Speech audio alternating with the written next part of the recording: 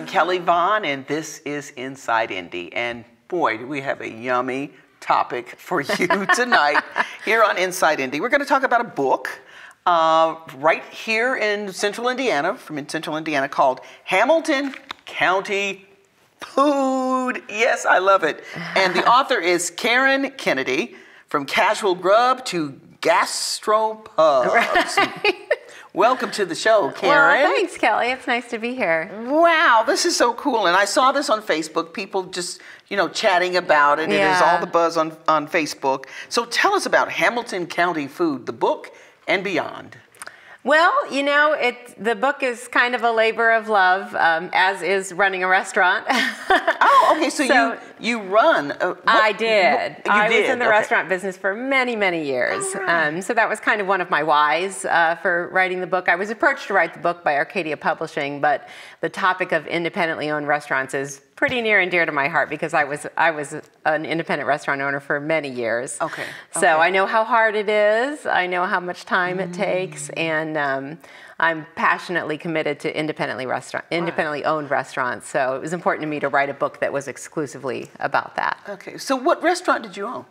Well, I was in the restaurant business in Chicago for many Oh, years, Chicago, also okay. in Vermont, and then in northern Indiana. Wow. Yeah. Okay. So tell us tell us a little bit about the restaurant that you did run. What did you serve? What? Um, well, most of the restaurants that I was involved in were fairly high end, um, fine dining. Also, here in the Indianapolis area, I owned a catering and event planning company called Small Potatoes. Oh, neat. uh, That I had just uh, sold in 2017. Um, and that was around the time that I was approached to write the book. And so apparently that was the next step for me. Okay, okay, okay. So uh, walk us through the book. What people can expect. We don't want to give it all away, Right. Obviously, but uh, tell us what we can. What what food journey um, shall we be upon here? Well, you know, the book sort of starts back in the day when um, there weren't any restaurants in Hamilton County, like when William Conner first settled Hamilton County. Um, but then it was interesting because it was like, you know, first there were just travelers on horseback and they needed a place to stay, so there were inns, but the inns didn't have any food. And then the people needed to eat, so they realized they had to feed them. And it just sort of evolved from there. And then the, the historical perspective of it all, where you see how restaurants evolved sort of out of necessity, um, and they just kept they kept having to be more and more creative. You know, it was like the the depression came along, or prohibition, or like all- the war, and all these different things came along, and all these mom and pop restaurants were just reinventing themselves over and over and over again, trying to keep up with the time and find a way to make it through. So it was fascinating to me to see how the how they've sort of struggled through the years and. Here, you know, here they are. so Now, any particular uh, restaurants, establishments here in Hamilton County that has been around forever? Do we know the longest running restaurant? Do we know that? I don't know about that. I mean, I honestly I don't know if there would be a restaurant that is still standing today that um, would go back as far as some of the restaurants that I researched, but there were some really cool ones. Um, there was a restaurant called the Glass Chimney in Carmel that was open for 30 years um, on Old Meridian. A chef named Dieter Puska, who actually moved here from Austria and opened restaurants. He used to pal around with Wolfgang Puck back in the day. Oh, wow. So yeah, and so um, the glass chimney closed um, in the. Ooh, I'm not exactly sure when it closed, but it was Uh-huh. open for 30 years, and um, it was really influential in the whole restaurant scene in Hamilton County. It was back in a time when they were, you know, people were choosing between Salisbury steak and fried chicken on menus, and all of a sudden he's got escargot appetizer for $13, and it was like, what's happening? Wow. So, um, and that restaurant now is uh, where the Bru Burger in Carmel is. Oh, okay. Yeah. Okay. Uh, now, when you you talk a lot about the, when this one closed, and so what's what's the reason that typically a restaurant would close? You know, I think sometimes a restaurant just has a lifespan, you know, in the way a TV series kind of has a beginning, a middle, and an end. I think that's true. Um, a lot of times I feel like a restaurant uh, restaurant owners are undercapitalized from the start, you know, um, or they they're passionate about food, but they don't really understand the business end of it, you know. Just because you make a mean lasagna doesn't Right. mean that you're meant to open an Italian restaurant. So Is that where it typically starts from? That I, that that person has this just knockout uh, recipe? Is is it or is it somebody says I just want to be in the food business? Um, Where does it come from? I think it's a little of both. I mean, I think uh, people say, you know, you have to be crazy to open a restaurant, so I suppose yeah. that helps. It, would, it helped me. Um, but I think that, uh, you know, really people just, they dive in and they, they do it out of beautiful intentions. And, and I don't know if anyone who hasn't ever done it can understand how hard it is. Um, and that was one of the things that was uh, important to me about the book, too, was sort of documenting what what these people do because you know if you if you try to research the history of just about anything else you can find all kinds of history on significant events over the years but when you try to find pictures of a restaurant that a thousand people tell you was the place to go in Wow. 1950 there's no documentation of it. Today we document every meal we eat, right? right, exactly. you know, it's like, yeah. oh, here's what I had on Instagram. Here's what I had. you know, Right, here's think what I had for dinner yeah. last night on Facebook. You know, Not to mention all the reviews. You know? Exactly, and you know it's a great way for chefs to get their to get their reputation out there. But back in the day, we didn't have any of that. We didn't have you know Yelp or any of the TripAdvisor or any place to tell us where to go. Um, there's a great story in the book that I found of. Um, a guy who was uh, on horseback, you know, way back when, in Uh-huh. the early days of Hamilton County, and there was apparently one woman who made a really mean corn pone. Oh wow! Now, what's a corn pone? Yeah, so What is just like that? just a corn, just a corn dish, like a like a, mm, a like a mix of corn and Like a just like a, like a grits, right? Like, okay. And so Uh, he he was hungry and he was looking for this corn pone. So he's riding around on his horse and he stops stopped someone on the street corner and said, "Can you tell me where I can find that corn pone that I?" That, you know, so it was like Yelp on horseback, right? And the guy said, "Oh yeah, That's it's cute. the it's the innkeeper That's the down the down road." the street, yeah, exactly. yeah. And he he sent him on his way. Right, so they really were doing the same thing back then. It was just in a different way. Exactly, Yeah. because everybody wants to know where the great restaurants are, Right, right? right, Like if you're sitting somewhere in the dentist's office and someone starts talking about a restaurant and how they had a great meal, nine times out of ten, someone's going to turn around and say, "I'm sorry, what what restaurant were you Yeah, talking uh, about? yeah, Where is that place?" Word of mouth. Right. Really is. and when a new restaurant opens, you know, especially here, I think this community is really great about supporting local, independently owned restaurants. now, moving from the past to the present day. Yeah. Uh, does the, so, what do you tell us in the book about what's happen, happening with food in Marion County and restaurants and uh, Hamilton? Right, County? yes, I did an interview earlier with right, Hendricks County, so I'm all over the place. Yes, well, people who live in Marion County should go to Do- yeah, Hamilton yeah. County and eat. That's the next book. Okay. right, exactly. Yeah, because a lot of people in, who live in Marion County don't see any need to drive up to Hamilton County to eat dinner Yeah. because there are a lot of great restaurants in Marion County. But I will say that there are certainly some restaurants in Hamilton County that are worth visiting, such as uh, in Carmel, um, there's a fantastic place called Divvy. Divvy. Uh huh. And uh, they serve small plates. It's owned by Woody and Rochelle Ryder. Uh-huh. And they also own Woody's Library, which is where the original Carnegie Library was Oh, okay, in cool. Carmel.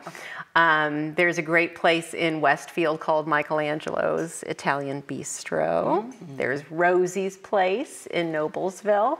Um, so many, it's it's almost impossible. There are so many restaurants, great restaurants, and Fishers. Um, a lot of good ethnic food in Fishers. Actually, there's a place called Cafe Korea on Allisonville Road that is amazing. Um, there's actually an Ethiopian restaurant that a lot of people don't know about called St. Yared's over by Geist. So So, do you take us to some of these we places do in the book? Yeah, I love but it. it's not a dining guide. You know, it's not just like here's the restaurant, here's the address, you know, here's the phone number kind of thing. It's um, you know, he, these are the chefs, these are the owners, this is how the restaurant came to be, this is what the building used to be before it was this Oh, restaurant. wow. So So a little bit of we try to like dig a little deeper and really um, g- let people get to know uh, a little bit more about the restaurant and the people who run the restaurant. So we also do some culinary superstars.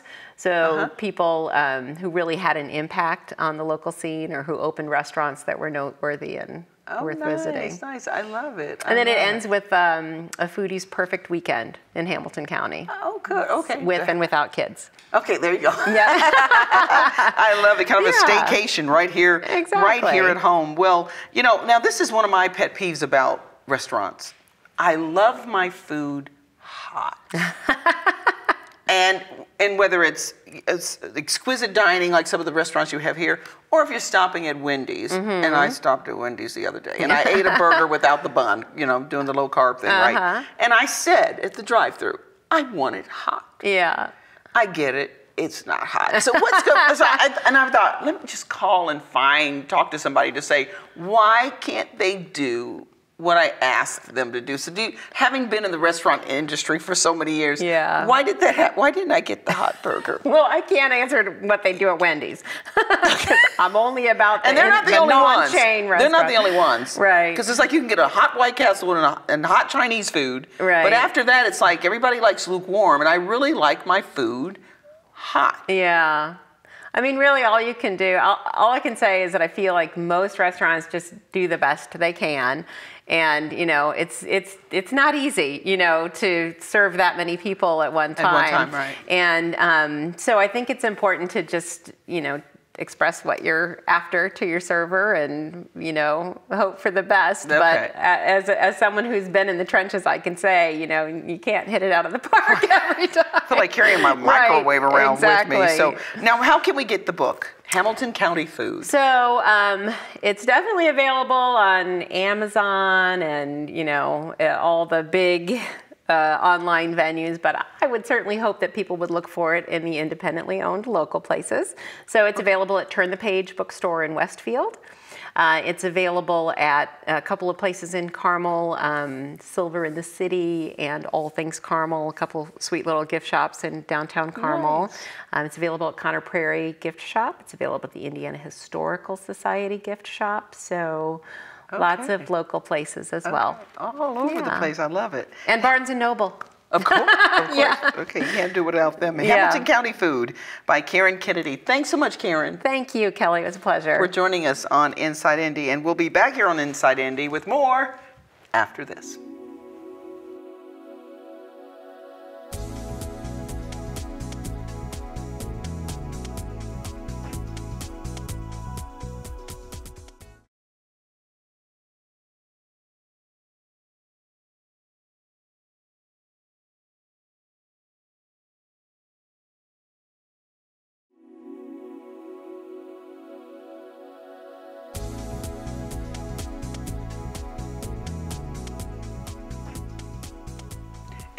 Back here on Inside Indy. And when I say the church or the Bible study meeting or church service on Sunday, you probably think, wow, that's, that's nice and a nice, safe place uh, to be. And typically they are, but they are not exempt uh, from uh, the unfortunate uh, acts of people who bring harm. And so, what we're going to talk about on Inside Indy today safety and security for religious facilities and houses of worship. And here uh, to uh, advise us and beyond is Doug Kouns with Veracity IIR. Welcome to Inside Indy. Thank you. You know, it, it's we just don't really think about things like that happening, but we know that has happened in the news on a number of ca- occasions in the last. Uh, it seems like in the last three or four years, uh, uh, more than we would like to Absolutely. happen. Um, steps religious institutions can take to try and mitigate and impact an incident um, in their church. So, so what, what brought this to the forefront of Veracity IIR? Well, over the past several months, I noticed in the news, and I'm particular, particularly in tune to these things from my background as an FBI agent, several church, synagogue, mosque shootings, uh, both in the United States and around the world. And I thought it might be a good idea to have one of our analysts come up with a informational document that we could put out that would alert them to the potential dangers that we haven't had in years past and some of the steps that they can take to protect themselves. Wow. And you said that potential dangers that we haven't had in the past. So what is going on and why do you think that is the case with it happening in a church? That was that's the sacred that's sacred ground. Right, that's a, right. It's And that- just not supposed to happen. And that's that's the dilemma here, and and the reason I wanted to put this out is, you know, really these safety tips could be applied to any institution, but a religious facility you think of as a warm place of comfort where you go, you welcome people to come in and join you. Everybody's welcome. Right, and but nowadays people are a little bit afraid because of the things that are happening, and so how do you balance safety with that philosophy of come to us, learn, worship? Okay, because churches should be concerned about whatever is happening in the world, so to speak, so whether it be shootings. Um, um, and then I was thinking of, um, oh, it was something else that came to my mind about the attacks on um, churches. You could be robbed. I've noticed that some of the churches I've attended recently, now they have security. A lot of them do, yes. Yeah, yeah. So, um, why do you think it's happening now in the church as opposed to it? That was the one place it didn't. Well, it's a it's a big open facility. They're soft targets. They have a schedule. Uh, attackers know when there's going to be a large number of people at a given place at a given time, and I think that's part of it. I think part of it's ideology, misplaced anger, hatred. Uh, there's a variety of reasons, a variety of motives, but uh, whatever that is, there are things that people who attend these places, whatever uh, faith that you're, you subscribe to, can take to mitigate the risk. Okay, Uh, so- and, and hopefully still maintain that, that atmosphere that they desire. Okay, so what are some steps that we could take? Um, a religious facility or house of worship, what could they, Well, they do? uh, in our document, and it's uh, available on our website, but uh, it talks about forming a, a security team. I think a lot of churches or uh, any religious facility are going to have members of law enforcement that are, are members, um, military, uh, emergency personnel, medical personnel, uh, people that might want to be involved in a security team. And, and from that team, there are resources and there's links in the document as well that can help, or there are companies that will help you develop um, plans for the different threats that might arise bomb threats, uh, active shooter, uh, even just fire, typical stuff, fire, tornado, things that we, we have planned and practiced for. Uh, maybe we haven't planned and practiced for some of these other things. Who's going to call 911? Who's going to notify someone that's in the nursery or daycare that might be down the hall or in the basement and they don't know what's going on upstairs? Uh, things you can do to maybe change the configuration of your sanctuary uh, to make it a little bit risky. I think most people, you, you go in, at least the churches I think of, uh, you sit down and your backs are to the entrances. And uh, so everybody except for the, the few people and maybe the choir over here uh, can't see what's going on behind them. Um, some simple security measures like uh, cameras. And some people say, well, let's put, let's make them hidden cameras so we don't have this scary feeling that, uh, you know, we're, we're turning this into some sort of a,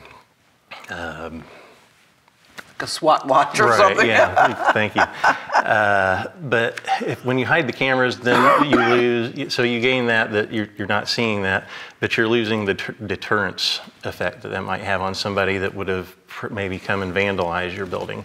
They see those cameras and they might think, oh, I'll, I'll, I'll look elsewhere, or maybe Well, I'll okay, double as a deterrent, yeah. Right. Okay.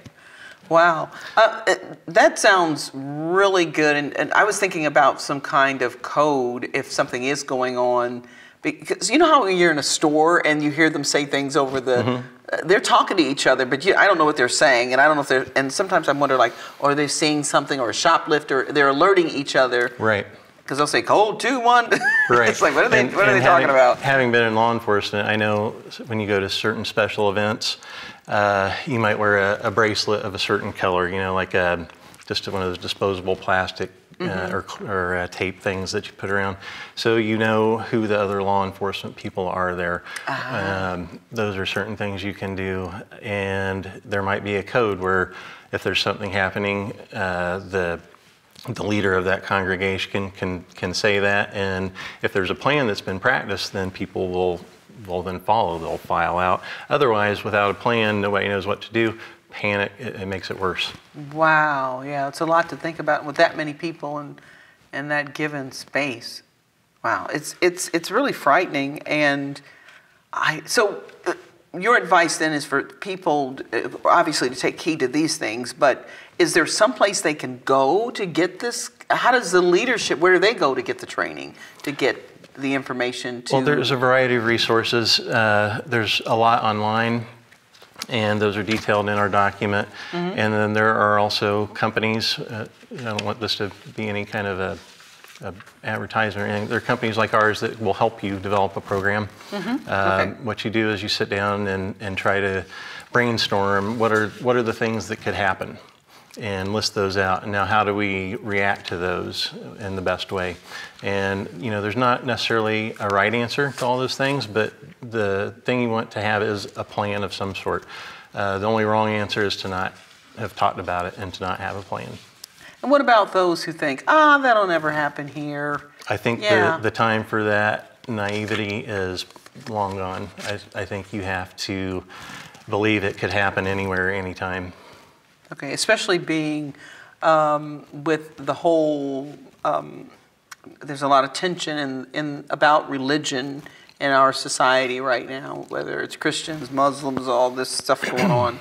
And so I would think, yeah, it would, would be a smart thing to and, do. And back to the motivation, sometimes I think uh, the opposing groups think that when they attack a religious facility, their desire is to create that dissent, that conflict, that it's going to fire up the others and then they're going to retaliate and then so on. That, that's what they want. So we can't play into that. okay, okay. And I, I see things on social media, you know, the, the New Zealand shooting, and then I think there was a retali- retaliatory attack in, uh, was it Bangladesh? It's, there's been a, a few, or India. Um, and some of the stuff that I see on social media that's just nonsense, that, you know, misplaced anger, uh, we have to avoid that. Right. So better safe than than sorry. So we've got your information on the screen there if people want to um, get information from you.